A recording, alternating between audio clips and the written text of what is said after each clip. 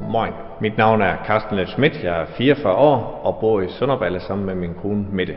Vi har børn fra 1 til 6 år, og dernede der arbejder vi på øh, min gård og driver økologisk plantavl. Min mærkesag det er at arbejde for kulturel og sproglig mangfoldighed her i Sønderjylland. Og øh, det, der er helt vigtigt, det er, at vi i vores skoler får en tidligere start med tyskundervisning, sådan så vi kan få en konkurrencefordel for vores landsdel tilbage.